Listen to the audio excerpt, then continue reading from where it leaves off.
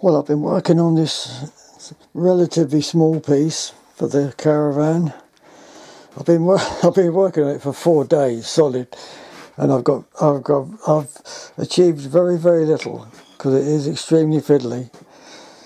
Um, so I've made this I've made this um, flower to go in there which actually doesn't look too bad. I, I have attempted to make another one, but it's very, very difficult and it looks crap.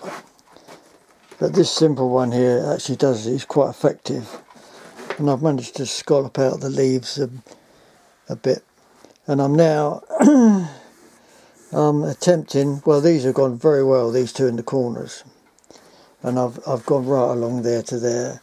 But of course, doing this Celtic knot pattern is going to be really difficult. I'm going to I'm going to um, router out right the way round the pattern.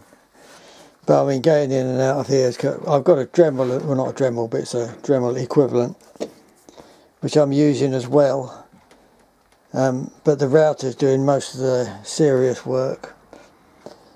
But I've got, oh, in the front, I've got one, two, three, four, I've got eight of these to do. I mean, four both sides, so that's eight. And on the back, I've got four. So there's 12, there's 12 of these patterns to do. And I, I think it's a week each. So you can see how long that's going to take. And of course, it's all got to be painted, obviously. And the other thing is, that's just part of the carving on the on the van. I mean, there's a there's a huge amount of other carving, and I always knew the carving would probably take a year, and the painting probably take another year.